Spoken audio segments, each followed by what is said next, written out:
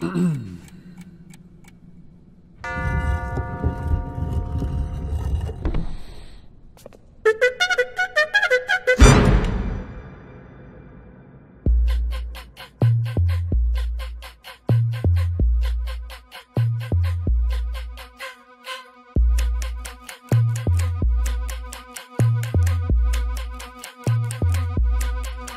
no good reason to get out of bed.